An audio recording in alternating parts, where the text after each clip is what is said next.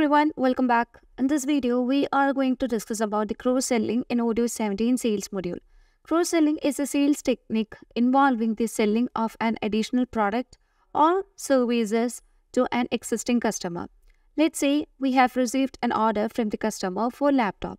So if the salesperson sells a complementary laptop back to um, go along with it, it qualifies as a cross-selling. So let's see how can we manage the cross-selling in Odoo 17 sales. Cross-selling also helps to upsell the productivity or the profitability of a business.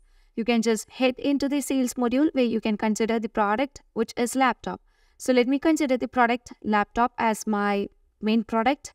And in order to cross-sell the items, let's move on to the sales where we have a, a section to upsell or cross-sell the item like uh, we can say the optional product.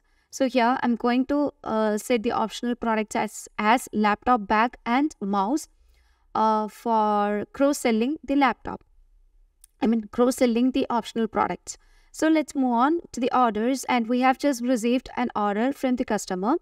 Here you can set the customer who is Azure Interior, uh, a frequent customer who is trying to purchase a laptop.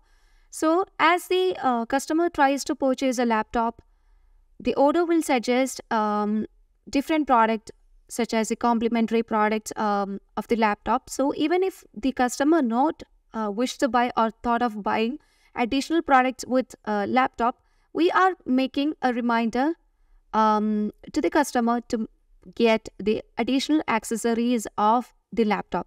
So uh, the customer can buy a laptop bag or a mouse along with uh, the laptop. So if the customer is buying or placing an order for the laptop bag or mouse or other additional accessories along with the main product that is uh, the intended product laptop then we uh, can consider it, as a, a cross-selling strategy.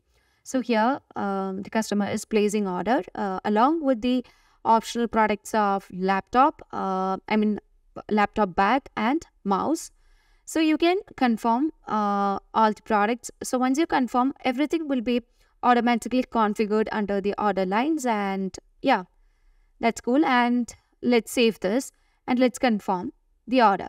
So this cross-selling would allow us to upsell the profitability of a business because um, actually the customer has had no intention of buying the optional products of uh, such as the laptop bag and mouse but using the cross-selling strategies, we could um, entirely boost the profitability of a business. So let's make delivery of the item to the customer.